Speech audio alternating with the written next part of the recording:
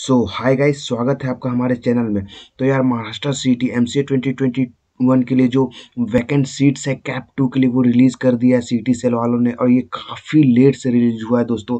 और इस चैनल पे आपको सबसे पहले अपडेट मिल रहा है कैप टू से रिलेटेड और जो वैकेंट सीट है वैकेंट सीट्स है उससे रिलेटेड तो यार, सबसे लेटेस्ट इन्फॉर्मेशन मिलती है इस चैनल इस चैनल पर तो इस चैनल को सब्सक्राइब किए बगैर आप इस वीडियो को मत देखिए दोस्तों, क्योंकि आप, आपका एक सब्सक्राइबर से मुझे बहुत ज़्यादा कॉन्फिडेंट मिलता है और मैं और इन्फॉर्मेशन लेकर के आता रहता हूँ इंपॉर्टेंट इन्फॉर्मेशन तो चैनल को सब्सक्राइब किए बगैर ये वीडियो को, इस वीडियो को मत देखना चैनल को ज़रूर से ज़रूर सब्सक्राइब करना। तो अभी अभी सी सेल वालों ने इस अभी अभी सी सेल वालों ने ये लिस्ट जारी किया है दोस्तों, कितने सीट्स खाली हैं कैप टू के लिए, जो कैप टू में कल से जो प्रोसेस होने वाला है, कल से जो ऑप्शन फॉर्म भराने वाले तो कौन से कॉलेजेस के कितने सारे सीट्स खाली है। ये सारी चीज़ आज की वीडियो में डिस्कस होने वाली है।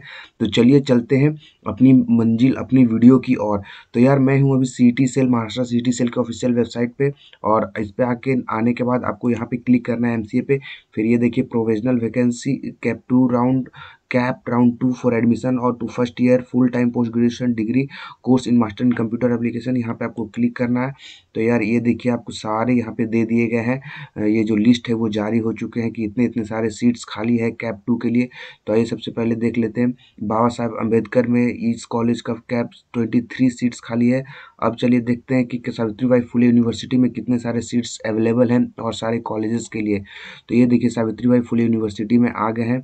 तो यहाँ पे देखिए पद्मश्री डॉक्टर भीम वित्तल राव तो यार देखिए के के वागा इंस्टीट्यूट में CAP twenty six twenty six seat खाली है, जो महाराष्ट्र स्टेट के लिए वो उन्नीस seats all all India rank के लिए मात्र सात सीट खाली है। तो के के वागा में जो भी एडमिशन लेने चाहते हैं, वो महाराष्ट्र स्टेट से हो या ऑल इंडिया रैंक रैंक से हो तो उसमें सिर्फ़ ट्वेंटी सिक्स सीट ही अवेलेबल है, जो कैप टू के लिए आपको ऑफ़र करेगी। आपको भर सकते हैं, आप फॉर्म आपके जिस हिसाब से रैंक है, उसी हिसाब से आपको इस कॉलेज को भरना है, कि आगे आगे पीछे देखते के साथ।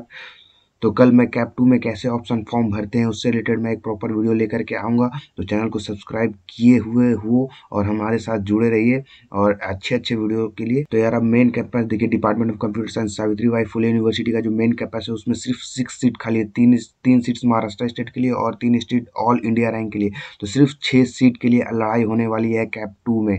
और डी वाई पाटिल का जो पिंपरी में उसमें ट्वेंटी सीट खाली है। महाराष्ट्र स्टेट के लिए फोर्टीन और ऑल इंडिया के लिए सिक्स तो इसी इसी तरह, तरीके से सारे कॉलेजेस का जो सीट्स है, वो अवेलेबल है। कितने सारे आप खुद देख सकते हो। मैं ये पीडीएफ प्रोवाइड कर दूँगा टेलीग्राम ग्रुप पे। अगर आपने अभी तक हमारे टेलीग्राम ग्रुप को ज्वाइन नहीं किया तो जाइए सबसे पहले टेलीग्राम ग्रुप को ज्वाइन कर लीजिए। उसमें सारे चीज़ का इन्फॉर्मेशन आपको वहाँ पर मिलती है।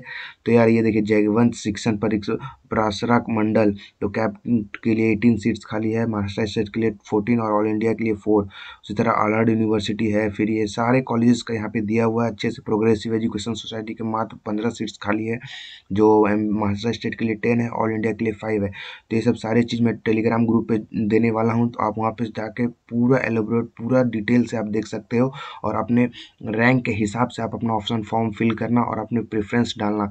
इस पर इस, मैं कल वीडियो लेकर के आ रहा हूँ, बहुत ही जल्द कल हो सकता है, ग्यारह या बारह बजे दोपहर को अपलोड कर दूँगा। तो यही इन्फॉर्मेशन देनी थी तो तो यार ये रही लिस्ट, मिलते हैं नेक्स्ट वीडियो में।